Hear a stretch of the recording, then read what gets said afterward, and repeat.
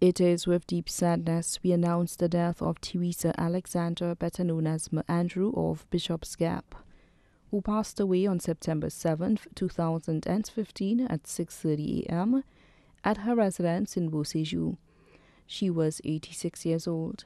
Left to mourn her four sisters, Yvonne Seelys, also known as Elmina and family of Pierrot Viefort, Mary Janita Johnny, also known as Ifemi and family of Pierrot Viefort, Grovana Seelys and family of Pierrot Viefort, Elmary Edward and family of Grand Riviere Dennery. Two brothers, Marcella Seelys, also known as Collins and family of Vigier Vieux Fort, Ambrose Seelys and family of Pierrot Viefort.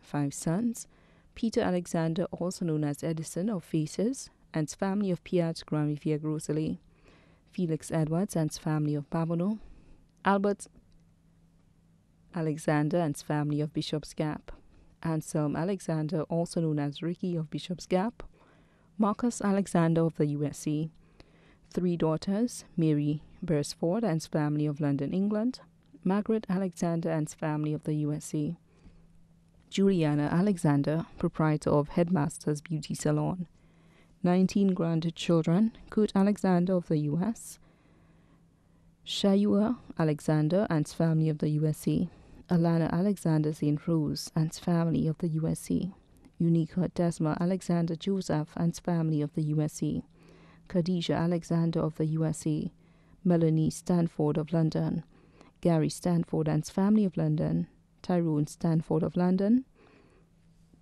Shem Alexander of Pave, Torrell Alexander of Bexon, Casa Alexander of Bishop's Gap, Adriana Alexander of Bishop's Gap, Diana Edward of the USA, Augustus Edward of Wadawaj, Groselet, Mavesta Edward, employee at City Council Castries, Aloysius Edward of Woodlands, Lennon Alexander of Marchand Castries, Joe Heslop of London, England.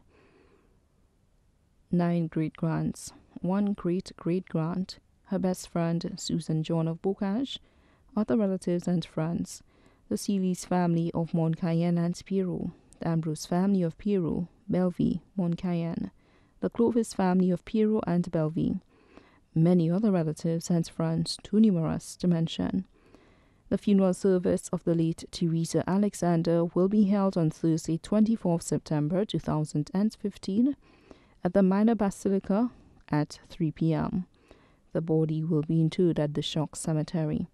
The body now lies at Rambali's Funeral Parlor, Calvary Road. A special collection will be taken for the St. Diabetic and Hypertension Association. May she rest in peace.